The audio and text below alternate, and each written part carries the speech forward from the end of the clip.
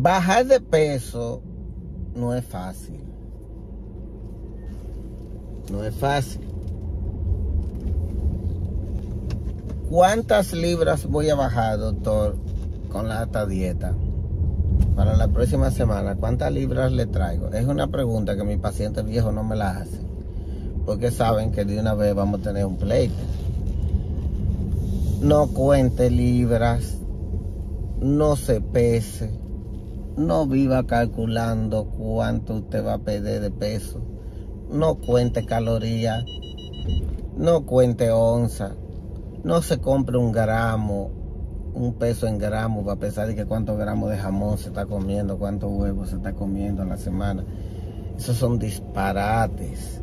Que comenzar a llevar dieta keto, dieta cetogénica, dieta del pedacito de plan, el reto yo no sé quién en el gimnasio comenzar a comer cosas raras, de que no pal, que sé yo, qué cosas que usted nunca ha comido, aceite de coco mezclado con, con qué sé yo, quién cosa, aceite de oliva mezclado con limón, cosas que usted no está acostumbrado a tomar y cosas que no son sus costumbres.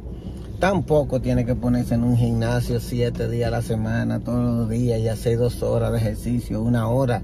Tampoco tiene que hacer una hora de ejercicio.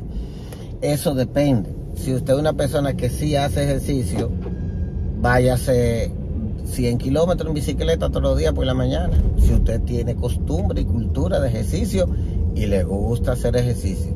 Si usted no le gusta hacer ejercicio, es Aragán. Con media hora que usted me haga, tres o cuatro, cuatro veces a la semana, lunes, miércoles y viernes, lunes, miércoles y viernes, media hora, arrancó a sacar la naga del sillón. Arrancó a sacar la naga de sillón. Porque es que usted tiene que dar el paso.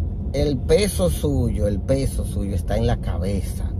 No está en una pastilla, no está en una cirugía, no está en un balón, no está en una dieta. Nada de eso.